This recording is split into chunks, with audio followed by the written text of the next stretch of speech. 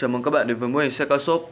Hôm nay mình xin giới thiệu với các bạn mẫu sản phẩm Ford GT Heritage Edition, tỷ lệ 1.32 của nhà sản xuất Nigao. Mẫu xe Ford GT Heritage Edition 2019 được thiết kế và sản xuất nhân dịp kỷ niệm 50 năm chiến thắng của giải đua Le Mans của GT40.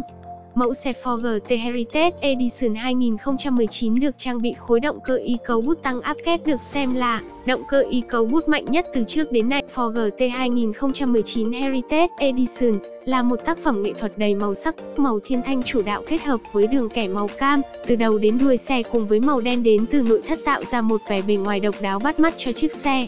Mẫu xe này có thiết kế rất đặc trưng, đại diện cho phong cách siêu xe cơ bắp Mỹ. Logo Ford được in trên mui xe bên dưới là lưới tản nhiệt cỡ lớn. Ở phần hông xe, số 9 được in lớn nổi bật trước ở nắp capo và hai bên cửa tương tự như chiếc Ford GT40 thắng giải Le Mans vào năm 1968. Sau khoang cabin, Ford GT đã thiết kế hai hốc gió riêng biệt, nằm cách khoang lái khá xa. Phía trên, Ford đã làm một thanh nối giữa hốc gió tản nhiệt này cùng mui xe. Thiết kế này một phần giúp luồng gió qua xe trơn tru hơn, giảm trọng lượng cũng như đóng vai trò như một cánh gió cố định giúp tăng lực ép. Kể cả ở phần đèn hậu cũng được phó khoét lộ phía trong để luồng khí nóng thoát ra từ bộ tản nhiệt. Đuôi xe thì được trang bị cánh gió cỡ lớn giúp xe duy trì lực kéo ở tốc độ cao, hai ống xả khó hình tròn được đặt sát nhau ngay chính giữa đuôi xe. Xe thì mở được hai cửa và khi mở cửa thì sẽ có tiếng còi kêu và đèn.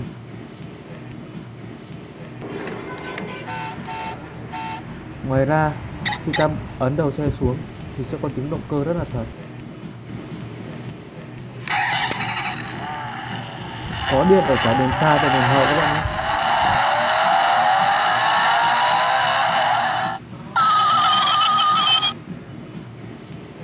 Nếu có ý kiến hay câu hỏi, các bạn hãy comment xuống phần bên dưới. Cảm ơn các bạn đã xem.